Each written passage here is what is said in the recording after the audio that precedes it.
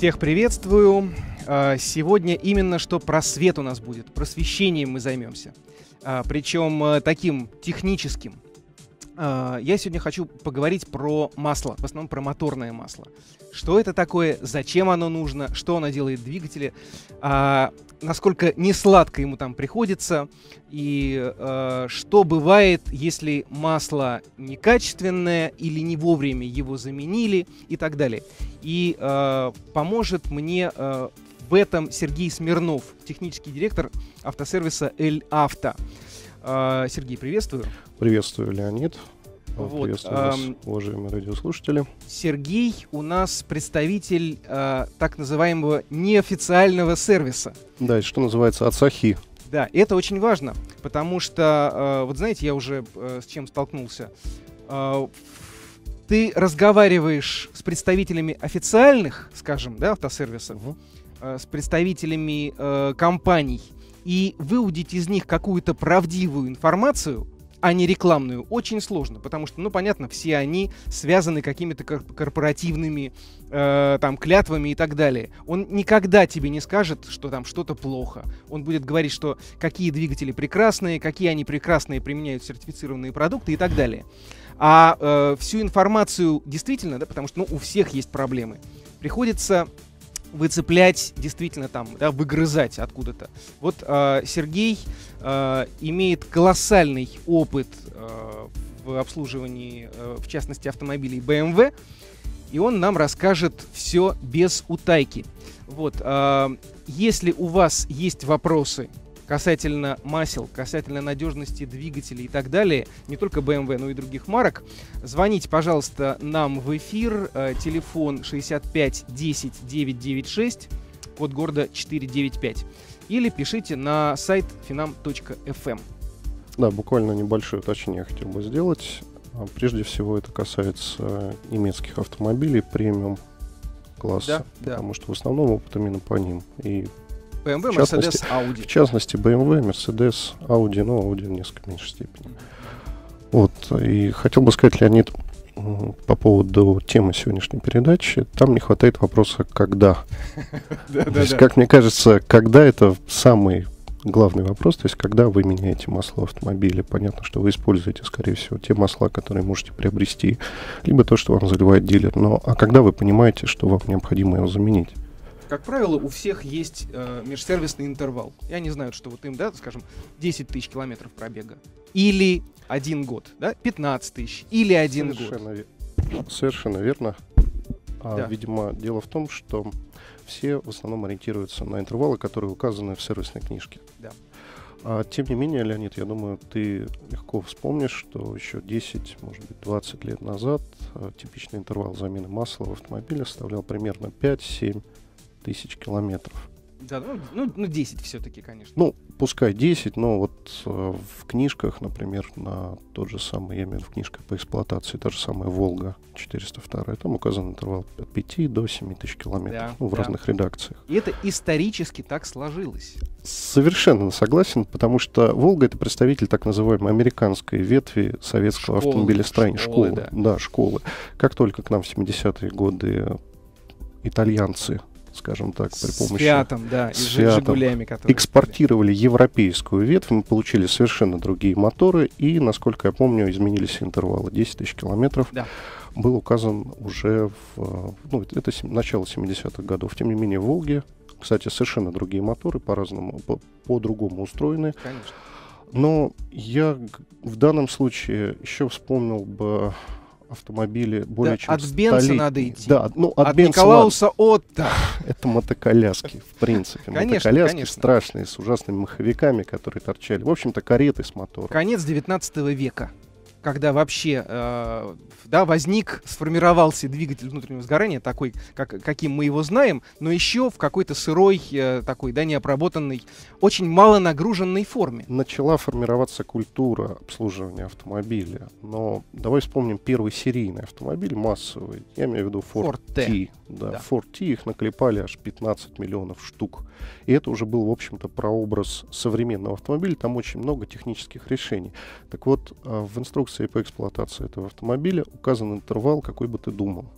Ну, э, ну сколько там, 500 миль, 500 да? миль, 500 совершенно миль, верно. ага, 500 миль, совершенно нечего возразить. То есть 500 миль в переводе на километр это всего лишь 8 сотен километров. Представляешь, современного автовладельца заставить менять масло, каждая, Конечно, фактически конечно. это каждая заправка. Как бы обогатились заправщики еще выше, чем... Почему, собственно говоря, почему такой интервал? То есть откуда он взялся? Почему они придумали 500? Ну, понятно, что там никаких лабораторных исследований не проводили в то время, это мало кого интересовало. Ну, конечно, интересовало, возможностей, может быть, не было. Давай вспомним те моторы. Понятно, что они, ну, по современным меркам совсем уж Не нагруженные. не нагружены. да, Степень мало сжатия форсированные. Мало форсировано, называется, совершенно да, верно. Степень слабенькие. сжатия, кто помнит такое понятие, 4 к 1. То есть Мгм. это совсем... э, Это автомобиль имел мощность, точнее двигатель стандартного автомобиля имел мощность порядка 20 лошадиных сил. Это буквально пяток газонокосилок. Да, да. Ну, никого сейчас этим не испугаешь. А культура производства, там, вот о чем бы мы с тобой сейчас не говорили, все будет ужасно примитивно. Да, все на коленке буквально делалось. Э, допуски были в двигателе э, очень... И масло, которое... да, масло обязательно, уже тогда оно, конечно, существовало, потому что трение в двигателе Совершенно есть. верно. Да, это набор э, у нас деталей, там коленчатый вал, Мгм, вкладыши, там, да, э, распределительный вал и так далее. Их надо смазывать. Поэтому масло, естественно, взяли из индустрии. То есть представь себе станки, которые стояли, в общем-то, в комнатных условиях, в цехах. То есть о каких там суровых условиях американской зимы можно было говорить в то время. Конечно, это обычные индустриальные масла, безо всяких присадок, их прямиком применили в автомобиль. Продукты перегонки нефти. Совершенно верно. То Причем есть, примитивной перегонки нефти. ну, дистилляция. Вот то, Дистилляция, что, да. что практически нефтяной самогонный аппарат. Мгм. И более того, применили даже не тяжелые фракции, а газоилевые фракции. То есть это совсем жидкие масла, потому что основная часть э, двигателя при этом смазывалась туманом, испарением Да, буквально. да, разбрызгивание. И как же плохо приходилось этому э, и в данном случае, ну, двигателю-то ладно, но и маслу. Ну да. А, давай вспомним, что на тех машинах не было термостата. Двигатели очень долго прогревались. Да, да, да, да, да. Очень долгие прогревы. Плюс к тому а, различные, скажем, смеси образования, то есть количество дозируемого топлива было крайне несовершенным. Ну, очень это было, много да, да. топлива не сгорало. В Мгм. итоге масло достаточно быстро отравлялось. Огромное количество факторов э, в двигателях того периода действовали не в пользу масла. И масло меняли каждые 500 миль. Да, да, да. Д- дав- Давай сейчас послушаем, э, примем звонок. Э, К нам дозвонился э, твой тезка Сергей. А, Алло, Сергей, вы в эфире. Здравствуйте. Здравствуйте. Вот у меня такой вопрос. Вот э, Land Cruiser э, 200, э, Мгм. дизельный двигатель, Так. а, вот эм, заставляют э, официалы менять э, масло ну, на межсервисном ТО в 5000. Да, насколько, насколько это актуально и стоит ли это делать, если следит ли машина с гарантией? Ну, просто для сравнения, да, вот, э, предположим, у меня был немец э, в свое время, Туарек В-10. Я там менял масло через 15 тысяч. То есть, э, в принципе, те же две турбины стоят, э, вот, и э, почему такая разница? 5 тысяч и 15? Сергей, да, по- вопрос понятен, спасибо. Ну, сразу отвечу. Дело в том, что, конечно же, это перестраховка у дилеров Toyota. Абсолютно согласен. Конечно же, масло там, да, даже вот то, что они рекомендуют, может ходить э, 10 тысяч. И сейчас, насколько мне известно, Toyota изменила, удлинила межсервисный интервал для Land Cruiser до 10 тысяч. Так что, Ну, то есть вопрос практически снят, я так да, понимаю. да, Хотя, абсолютно. э, хотя, конечно, замечу, что Toyota, ну, немножко забегаем вперед, но Toyota была одним из первых, э, во-первых, пионеров рынка нашего, и он- это был один из первых производителей, который установил именно малый, сверхмалый интервал обслуживания в связи, в связи с условиями с, Да, с с более жесткими условиями эксплуатации в. России. И сейчас, то есть понятно, что это вызвало, наверное, недовольство потребителей. С другой стороны, в общем-то, я с ними отчасти согласен в этом. Сейчас, э, то есть лучше уж пусть будет короткий интервал, чем интервал слишком большой и с последующими проблемами с мотором. Ну, это правда, это правда. Ну вот э, вернемся к... Да, вернемся к теме, да. о которой мы говорили. Опять же, мы сейчас поговорили примерно о периоде начала века. Мгм, мгм. И буквально перенесемся, наверное, годы в сороковые. Если помнишь такое произведение, более чем известное «Одноэтажная Америка» или Фей Петрова. Да, помнишь да, их? да, да, да. Помнишь, конечно, их там прекрасно. заставили менять масло тысячу миль. Уже Да, дошли до да, тысячи. ага, Если мы ага. посмотрим справочники времен э, периода примерно предвоенного, там увидим до двух тысяч миль. Ага, ага. До двух тысяч миль. И вот этот интервал практически без изменений перекочевал, там, дошел до 70-х, и там уже мы уже дошли до трех тысяч миль. Да, да. И все это э, сопровождалось, естественно, э, ростом, э, улучшением технологий. И об этом мы поговорим э, сейчас уже после э, новостей. А сейчас новости на Финам ФМ. Моторное масло. Какое и зачем? Обсуждаем эту тему. Э, У нас в гостях Сергей Смирнов, технический директор автосервиса «Эль Авто». Э, У нас есть звонок. э, К нам дозвонился Вадим. Вадим, приветствую вас. Вы в эфире. Здравствуйте. Здравствуйте, Леонид. Здравствуйте, Сергей. Вот у меня какой вопрос. Являюсь владельцем автомобиля BMW. Мгм. Как- какого? Э, 61 кузов, 47 мотор, дизель. Мгм. Вот. А До этой машины у меня тоже был BMW, 54 мотор, бензиновый. Так вот в чем вопрос. Почему э, обе машины были куплены в Европе, у них межсервисный пробег по замене масла, допустим, на бензиновом на том моторе на 54-м составлял 25 тысяч километров а, при использовании Long Life масла. А Так. на этом двигателе указано вообще 30 тысяч межсервисный пробег, если использовать масло LL04. Да, да, да. А, А у нас мгм. эти пробеги почему сокращаются в два раза? Вы прямо предвосхитили дальнейшие Мы, в, в принципе, Да, вот об этом этому хотим собирались. посвятить программу. Да? А, Если вы сейчас наберете терпение и нас дослушаете до конца, мы а, вот а, потихонечку к этому и ведем. подбираемся Да. уже. Ну, вот действительно, сейчас, а, Спасибо вам. сейчас пробеги, о которых мы можем э, рассуждать, исходя из того, что указывают производители в сервисных книжках, это примерно 25-30 тысяч километров. То есть, казалось бы... Это все началось в 90-е. В 90-е, да, совершенно верно. В конце, В Европе. В конце Европе. 90-х появился стандарт Long Life, который в той или иной а, форме при, принят любым производителем из немецкой, прежде всего европейской школы двигателей. Да, и безусловно он прогрессивный, конечно Ну, же. да, Да, потому с- что он э, с- э, позволяет э, сохранить нефтепродукты, да, и, так сказать... э, Вот, и очень, синтетику. очень правильное замечание. То есть, а почему? То есть, зачем 30 тысяч? Это сделано для кого? Для потребителя, для производителя. Кому это интересно? То есть, неужели прогресс в маслах настолько, что мы настолько, настолько усовершенствовались масла, что мы имеем возможность не менять масло 30 тысяч? Да, и даже 100 тысяч имеем возможность. Ну вот кому выгодно? Ну, прежде всего, потребителю. Мне, мне конечно же, выгодно реже приезжать на сервис, тратить меньше денег на обслуживание.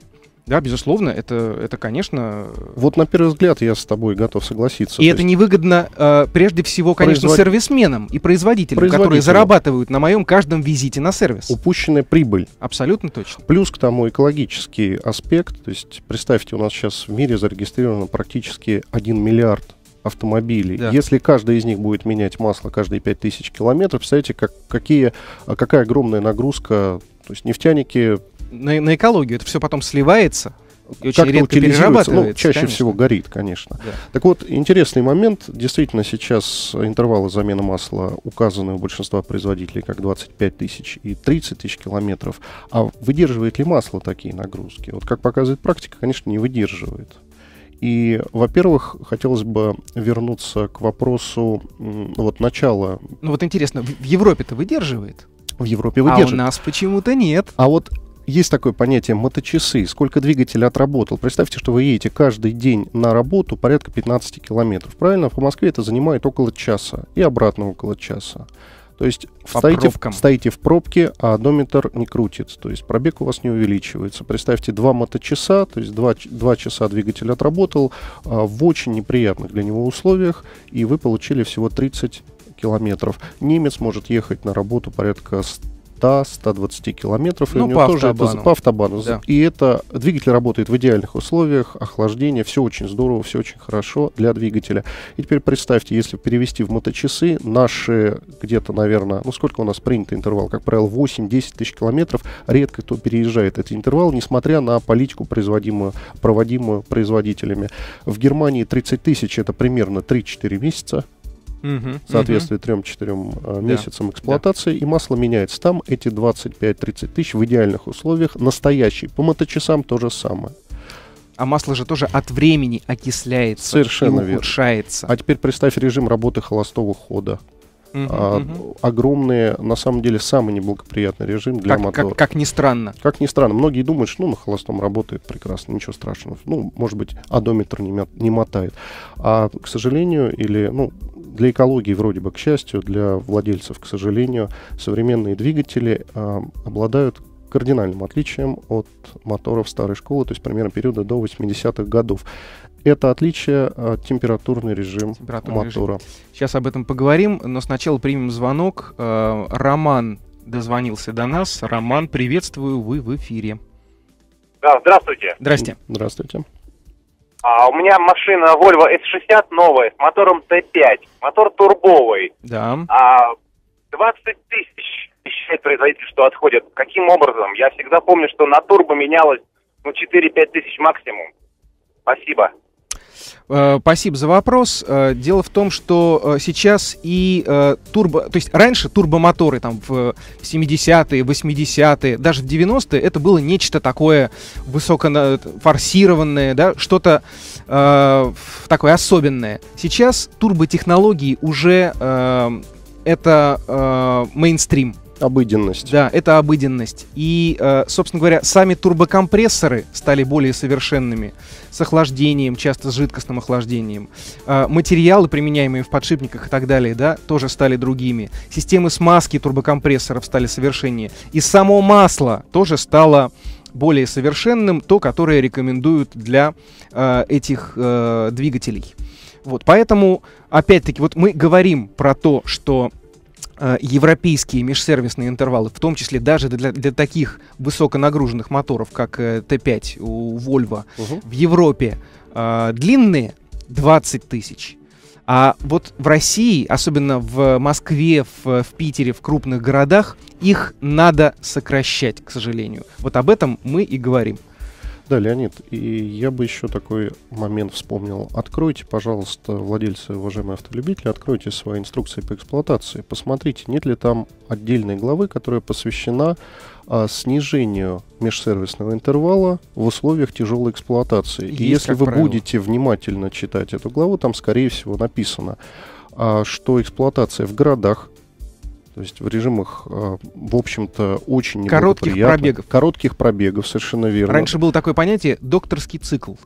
Э, у Фиата, по-моему, впервые, да, они специально э, разрабатывая э, э, двигатели и автомобили, тестировали машины по докторскому циклу, имитируя э, жизненный стиль доктора, который ездит от пациента к пациенту на короткие расстояния. Вот он себе наметил маршрут, у него 5 километров до одного, 5 километров до другого, двигатель не успевает прогреваться Совершенно верно. и работает в очень э, жестких условиях. Ну, вот этот момент, скорее всего, отражен практически в каждом руководстве. Поэтому посмотрите, если а, такое есть даже со стороны требования со стороны производителя, то вы а, не можете к нему предъявлять какие-то претензии, потому что, скорее всего, просто не прочли инструкцию. Мгм, мгм. И действительно, современные масла вроде бы как считаются современными, потому что, в общем-то, масла делятся на две группы. Я имею в виду базовые масла, из которых масла изготовляются. Это либо продукты, которые в родственниках имеют нефть, то есть произведены из нефти, любым, любым способом, неважно, может быть и синтетика из нефти, может быть а, просто продукты дистилляции.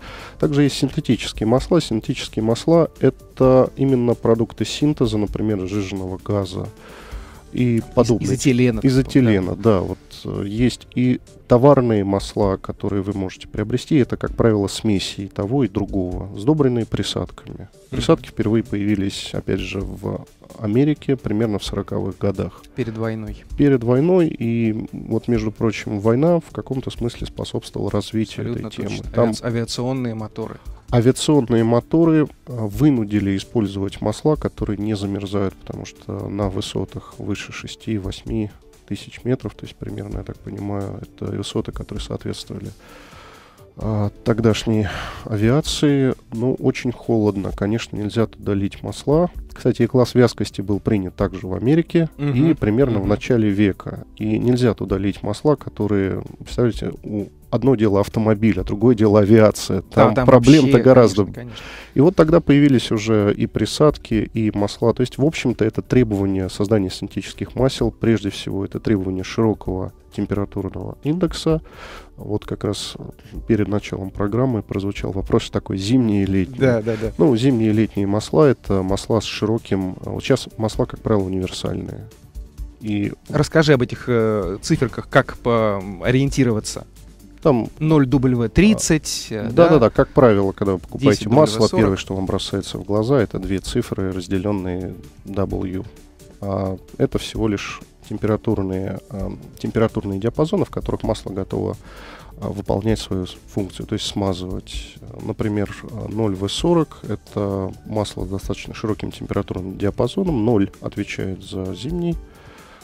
Первая цифра. Да, да. первая цифра отличает. И чем она, чем она меньше, тем, соответственно, более зимнее. Тем, а, тем ниже, ниже точка да. застывания масла. И горячий индекс, то есть второй индекс, это говорит о текучести масла под воздействием температуры. Рабочая температура мотора, то, о чем я сейчас говорил, у современных двигателей крайне высокая, то есть достигает 111 градусов и выше.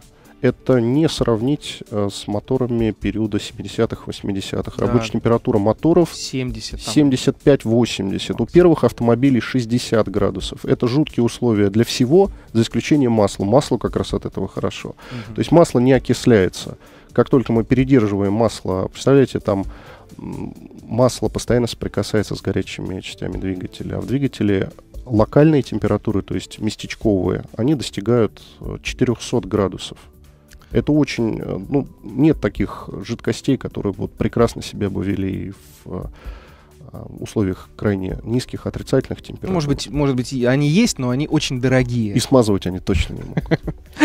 Да, да, да. То есть экстремальщина в любом э, двигателе, да, э, буквально широчайший спектр нагрузок и температур. Очень, и... очень тяжело маслу работать. Совершенно верно. И, естественно, в масле есть... Масло обладает большим э, списком, большим количеством свойств, которые ему необходимо, которым ему необходимо обладать, чтобы не только смазывать масло, еще и моет обладает так называемыми щелочными свойствами. И вот как показывает практика, потому что я занимаюсь и анализом а, так называемой масляной отработки, и как показывает практика, примерно 8-10 тысяч километров в городском цикле это предел моющих свойств масла. То есть масло перестает мыть, да. начинает загрязнять. Угу, и угу. те, кто ездит по городу, вот как, им, как их, как говорится, просит компьютер до 25-30 тысяч, а, ну, вы ездите уже не на масле. Да. Через э, короткое время э, вернемся к этому обсуждению, а пока новости.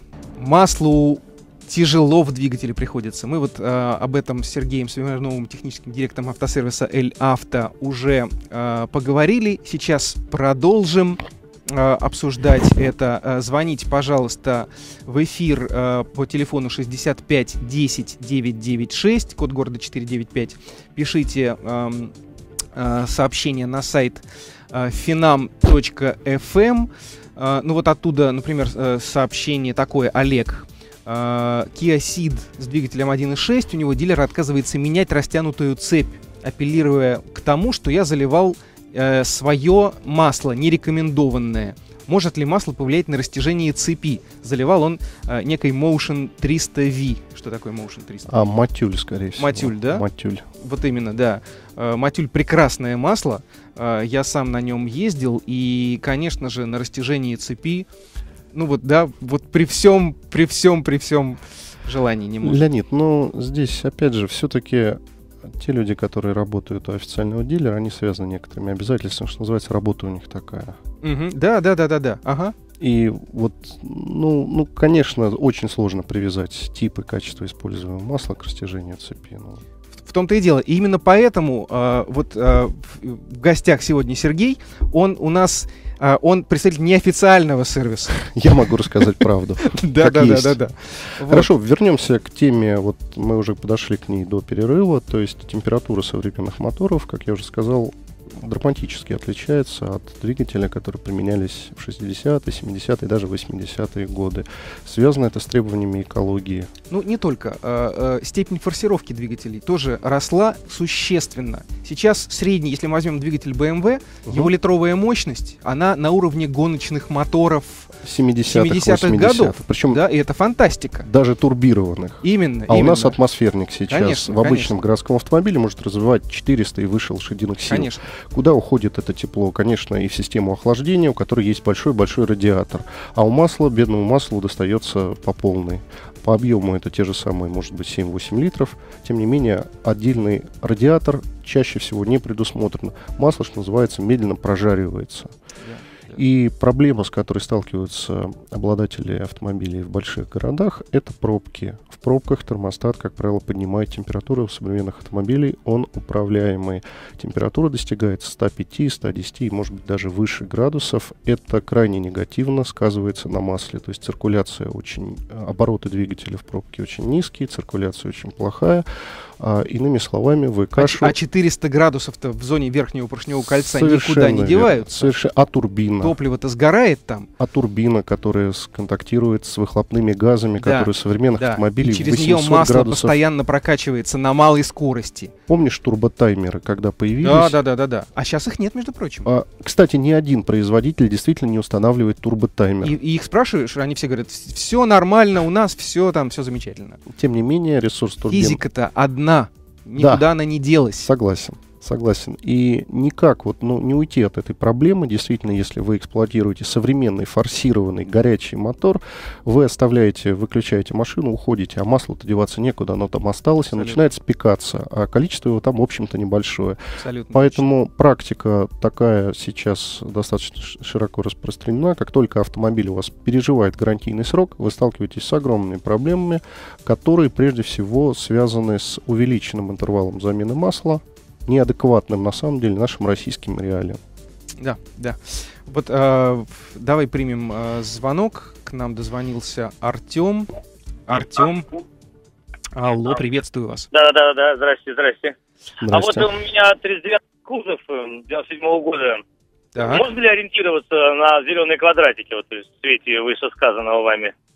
А, простите, Зелёные какого года? квадратики. 90 Мини-масс. 97-го, да? Да, да, да, да, У да. вас М52 мотор обычный, 23 Да, да, да, 28 да, да, да. Поясню для тех, кто не знает, что такое зеленые квадратики. На автомобилях BMW э, в 80-е уже, да, а это, это речь о 90-х, 90-е, да. да, э, была уже система э, такой встроенной диагностики. И загорались, значит, там э, квадратики, э, которые сигнализировали по мере там, да, их э, загорания о том, насколько близко э, Смена. смена масла. Ну, здесь достаточно простой ответ будет. Эти, а, вот это поколение моторов М52 это последний, последний двигатель, который еще достаточно терпим к маслу, и даже в рекомендациях а, BMW на тот период присутствовали и минеральные, и полусинтетические масла. То есть это двигатель сравнительно холодный, его температура максимальная достигает 102, может быть, едва выше. Максимальная, да. Максимальная температура, рабочая там даже ниже может быть, поэтому с этим двигателем, тем более квадратики, это порядка 15 тысяч километров, насколько я помню. То есть вы, Ква- Квадратики, насколько я помню, там же алгоритм их э, подсчета очень простой, грубо говоря, От- от моточасы пробега, от просто, пробега. да? Не, ну вроде там нет, вроде не по, не по, не по пробегу, вроде что-то они еще отслеживают. нет, Там не отслеживается, только по пробегу. а, отслеживается на современных моторах, там действительно стоит так называемый а, датчик качества масла, но на А. вашем, на вашем Этого моторе, нет. На да. вашем моторе это не просто, было. просто индикация, флажки. То Это есть- просто, это, это просто это самое, пробег. Да. Да, это просто пробег, А, спасибо. спасибо. пожалуйста. Спасибо. Что-то шквал прямо звонков. А, сейчас а, у нас... а, да, давай поговорим. Первая Давай. линия. А, алло. Алло. Да, Алло. здравствуйте. Здравствуйте, меня зовут Сергей. Я, вы со мной вы говорите? Да. Да. Вот у меня была машина Volvo, э, обычный 2.4, S80. Так. И я там был прописан менять раз 15 тысяч, а я как-то по серости своей менял раз 10 тысяч, и меня все сервисы за это хвалили.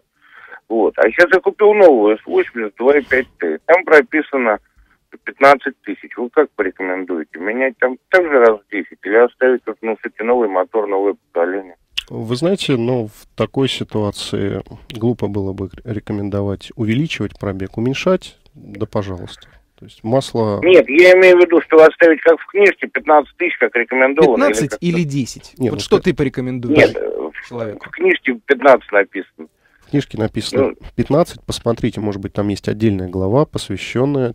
Нет, ну, тяжести я уже нету. посмотрел, слушая вашу передачу, уже посмотрел, ничего нету, и цикл эксплуатации только за городом. Сергей, а такой, вот, вот, За город. очень Это- это важно, очень важный как вы эксплуатируете. Если вы ездите спокойно, э, без пробок, то я думаю, Да. что э, можно смело следовать рекомендациям Никаких производителя. проблем при таком пробеге у вас, я имею в виду межсервисном интервале, не возникнет, потому что загородная эксплуатация это совершенно другое, с пробками никак не Так что хорошее масло и 15 тысяч. Не проблема. Вот для вас, пожалуйста. Холодный Еще мотор. один вопрос, если Мгм. можно. Скажите, пожалуйста, вот есть два дорогих масла, ну, собственно, они выделяются, естественно. В цене это Мобил и Кастрол, которые принадлежат двум разным конкурирующим компаниям. Мгм. Вот по вашему опыту, я вот так для себя понял, что это примерно одно и то же. Потому Это- что тоже Volvo, с которой я использую, оно сначала рекомендовало во все машины лить э, Мобил, и я лил там 15 лет назад, а потом они перешли на Кастрол, и летят лил Кастрол, как они рекомендуют. Ну, по сути, это ну, одно и то же масло, пока еще по своим характеристикам. Или это не так? Вы задали вопрос, который неисчерпаем как атом. Не в бровь, а в глаз. Да. Плюс к тому. э, вот я боюсь, что мы за эту программу э, тем- э, тему тестирования масел и э, раскрытия их, э, того, насколько они разные или одинаковые, не подымем, не осилим. Возможно, мы вернемся к этому в других передачах. Но на самом деле даже внутри э, одной, одного бренда э, масла очень сильно различаются. Это очень важный Мобил момент. мобилу рознь. Кастрол кастролу рознь. А, в принципе, конечно же, вот сейчас а, все обычные авто, автолюбители, они просто отдают автомобиль на сервис, и там им заливают то, что используют в- там, да, а, исп- использует этот дилер. Как правило, это все сертифицировано, там, да, опробировано производителем и так далее. Но там очень масса, масса нюансов. И э, тут э, нет единой э, какой-то такой э, стратегии, которую можно было бы рекомендовать всем. А, ну вот, в частности, именно поэтому мы здесь сейчас с Сергеем и сидим и про это рассказываем. Да, тема очень сложная. Об- объемная прежде всего. Да, вот. в- тут, к сожалению, не сможем мы сейчас вам а, дать э, Я- какую-то там Большое рекомендацию. спасибо. Большое спасибо. Спасибо. Доброго. А, Единственное, прокомментирую, действительно, у одного производителя в линейке современной может быть большое количество масел представлено. Эти продукты могут быть совершенно разные. То есть, простой пример, масла разных э, вискосных диапазонов делаются из разного сырья. И, Абсолютно, да. например, масло 5В40 может сильно отличаться от масла 0В40, кардинально отличаться по составу.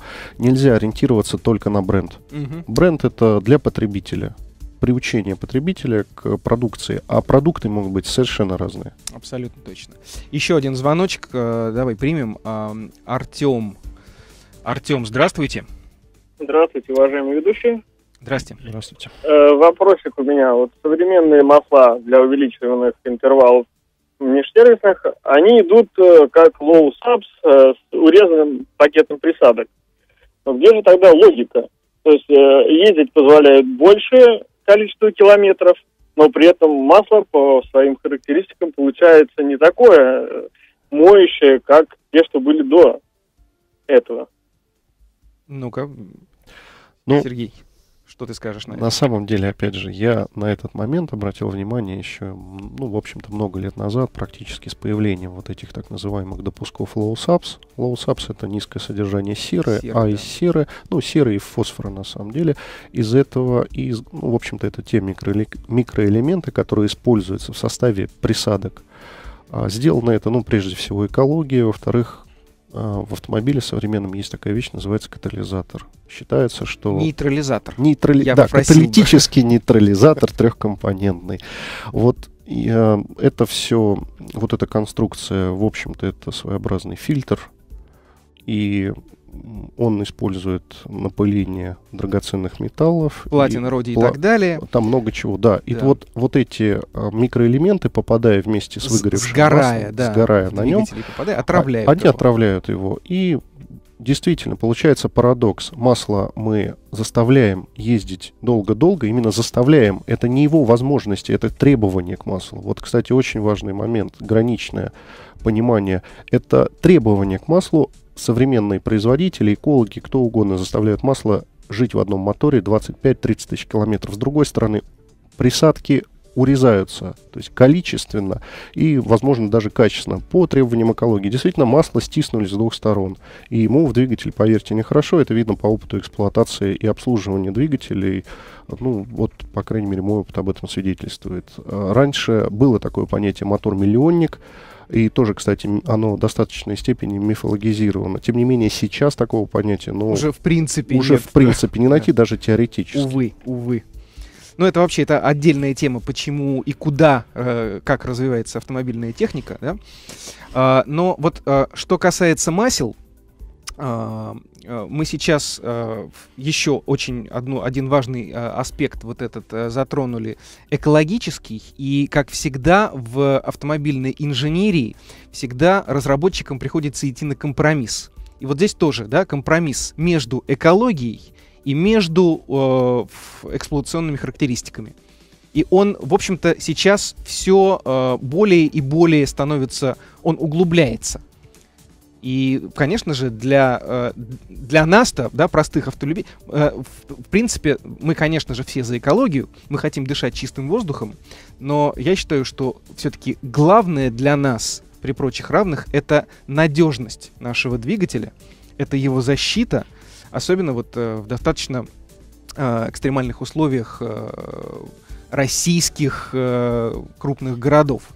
А, вот сейчас еще раз мы об этом поговорим поподробнее, а, а пока новости.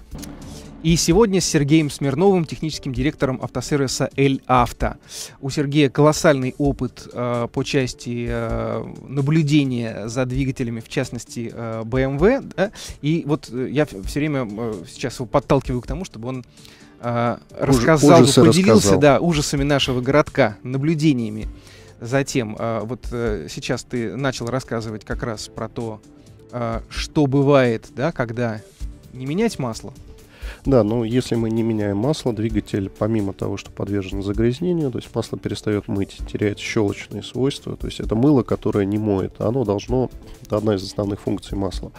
Далее, если вы передерживаете, перекатываете пробег определенный, то есть это уже зависит от режима движения, от вашего двигателя, ну, от нескольких аспектов, масло начинает сворачиваться, то есть превращаться в консистенцию, обретать консистенцию желе. А, ну, не надо объяснять, что если масло теряет а, текучесть, двигатель начинает работать. Желе не течет. Не течет, совершенно верно. Конечно, а, смазывание прекращается. Прекращается смазывание в тех а, местах, где, ну, в критических местах. Где оно для- более, для более всего необходимо. Как правило, это, конечно, приводит, заканчивается капремонтом. И я видел достаточное количество таких моторов, причем на небольших пробегах. Как раз причина номер один – это несоблюдение. Даже умудряются перекатывать даже те пробеги, которые сейчас считаются для Москвы запредельно большими. То есть 25-30 тысяч. Есть и такие люди. Перекатывают. Думают, что на, если на современных, на дорогих автомобилях. очень дорогих автомобилях, иногда, сам понимаешь, что премиум автомобили трехлетние достаточно большая. И люди, конечно, почему-то думают, что если, ну, 25, ну, может быть и 30, где 30, там и больше. Ну, хотя это, конечно, редкость, но хуже всего, когда это происходит на 10-15 тысяч километров. Это, конечно, связано уже с свойствами самого масла. Это первая проблема, то есть масло сворачивается, и неожиданно вы попадаете на замену мотора, либо на крайне дорогостоящий ремонт. Что бывает? Вот к тебе приезжает человек, Мгм. да, э, на что он жалуется? Типичный случай. не заводится автомобиль, привозят, скорее всего, его уже на эвакуаторе. эвакуаторе, это да? один. Это один из моментов. А второй момент это повышенный расход масла, который сейчас, к сожалению, становится нормой. Где-то, Увы. где-то самая экология, о которой заботится а, о которой заботятся производители, либо лобби экологические, а ее на самом деле нет. И катализатору тоже, о котором все заботятся, жизни при таких сменах интервалов, при таких интервалах замены масла, к сожалению, нет. А, то есть расход масла у современного автомобиля на уже первом-втором году эксплуатации может достигать литра на тысячу километров. Это запредельные нормы. Они, кстати, прописаны. Они Прописаны. все перестраховываются. Совершенно верно. И когда начинаешь предъявлять им претензии, они говорят, а вот у нас, В пожалуйста, книжке, до литра на тысячу километров угар. в книжке Это написано. нормально, да. В книжке написано, пожалуйста, это норма. Мгм. При этом, как это, например, уживается с э, жизнью катализатора, Никак. непонятно. Никак это не уживается. Это парадокс. Это, это просто, к сожалению, Нонсенс. автопроизводители, да, подстраховываются, они не хотят тратить колоссальные деньги на гарантийные ремонты двигателей. Ну, то есть иначе бы там работали одни юристы, инженеров совсем бы не осталось. Они бы судились, доказывали и так далее. Так вот, проблема а, более выраженная, чем сворачивание масла, то есть полимеризация, это проблема повышенного расхода масла уже новыми моторами на периоде гарантии. Конечно, это касается прежде всего автомобилей немецкого производства, то есть ну, я думаю, для кого новостью не будет, что, например, Audi, Volkswagen, э, BMW, но также, в общем, и, наверное, Mercedes уже догонять начинает. Там есть некие конструктивные аспекты, которые дают Mercedes небольшое преимущество. На самом деле у всех примерно одинаково. Вот, и, А ведь раньше-то, да? ой, раньше Эх. совсем другое, Да, да. да. Плюс к тому, современные моторы не сравнить по технической сложности, по технической начинке. Я имею в виду, что это Колоссальная сложность. это сложные моторы. Э, Я думаю, даже рядовые владельцы, которые уже, может быть, э, по расчетам производителей не должны знать, что в автомобиль заливается, кроме бензина и омывающей жидкости. Тем не менее, даже они уже столкнулись, особенно если сталкивались с ремонтом с хитрыми названиями типа Ванос, Вольветроник. Да, все да, это да. достаточно... Впрыск. совершенно верно. далее. Все это достаточно сложные системы, которые работают на масле. Я имею в виду прежде всего м, та же самая система Vanos, которую BMW использует уже порядка, наверное, 15 лет. Все это работает Середина на масле. Все это работает на масле, все это... То есть масло, в общем-то, это кровь двигателя. Если у вас проблемы с кровью, плохо всему организму сразу. И, кстати, а, вот мы в основном говорим про премиум, но а, так как эм, технически сложные решения имеют тенденцию э, снисходить из премиума на массовые автомобили, то сейчас все это мы имеем и на э, двигателях обычных э, машин. Э, например, пожалуйста, да, э, те же двигатели серии Prince на э, Peugeot и Citroёn, которые э, разрабатывались и выпускаются совместно с э, BMW. Те же самые технологии и очень часто, увы, те же самые проблемы. Э, Сейчас э, давай примем звонок. К нам дозвонился Вадим. Вадим, здравствуйте, вы в эфире. А, Здравствуйте, Леонид, здравствуйте, Сергей. У меня такой вопрос. Я вот вроде коллекционер собираю старенький машину возраст 25-30 лет. О, наш 100 человек. тысяч. Да, Мерседес. Вопрос такой, я столкнулся с такой проблемой, как бы желая добра своему мотору, я стал заливать са- самое современное масло. Масло э, развития получили очень сильно за последние 20 лет. Вот, синтетику, да. И я столкнулся с такой проблемой, что вот мои тоже коллеги-коллекционеры говорят, э, надо заливать именно э, то масло, которое, было рекомендовано, так как фильтр, масляный фильтр оригинальный, он рассчитан на работу именно синтетическим маслом. У меня вопрос такой, э, вот для владельцев старых машин, какое рекомендует масло? Минеральное, синтетическое, и как вот э, э, объяснять эту проблему именно масляных фильтров, которые вот не работают, допустим, синтетикой, которая не использовалась, например, 25 лет на таких машинах? Спасибо. Понятно, вопрос понятен. Ну, во-первых, я бы обратил внимание слушателя на то, что на рынке у многих производителей присутствуют масла для ретро-техники, и ничего плохого. То есть масло минеральное, как мы, Леонид, с тобой уже говорили, загнобили, и, в общем-то, часто незаслуженно. ну, мы, мы с тобой об этом говорили, а в эфире мы об этом в еще не эфире говорили. сказали. Минеральное масло по свойствам, по большинству свойств а, не отличается от синтетики. Я имею в виду, если вы не эксплуатируете свои ретро-автомобили, уже, в общем-то, почти, да, ретро-автомобили, гоночных режимах. а в гоночных режимах, либо при резких отрицательных, выраженно отрицательных температурах, ну, вряд ли в минус 30 вы их, если действительно коллекционер, он пожалеет, не будет такого делать. Пожалуйста, у большого количества производителей на рынке, пожалуйста, можете покупать масла. Как правило, это вязкости 10-30, вот подобные.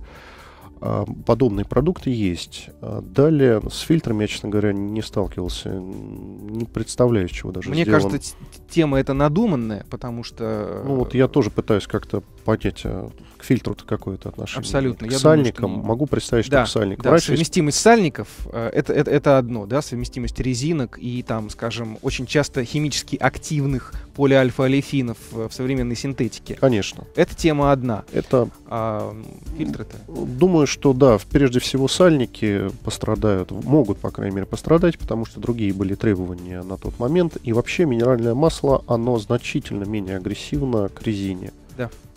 Вот этот момент, этот аспект, пожалуйста, учитывайте. Поэтому, наверное, какой-то вот такой э, рецепт может быть владельцам ретро-техники э, использовать очень хорошую, качественную минералку, Мгм. в свойствах которой э, вы уверены, да, и просто, ну, так сказать, э, менять ее э, почаще, Да, совершенно верно. да, через те же, там, скажем, 5000 километров.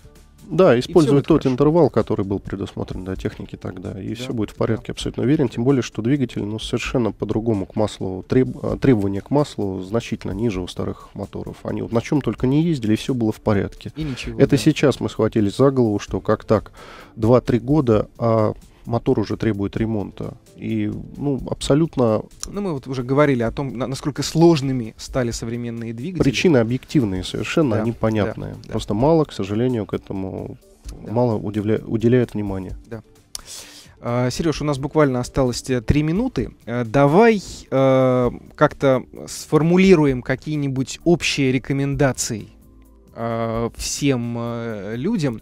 Мне кажется, что э, нас, автомобилистов, нужно разбить на две основные категории.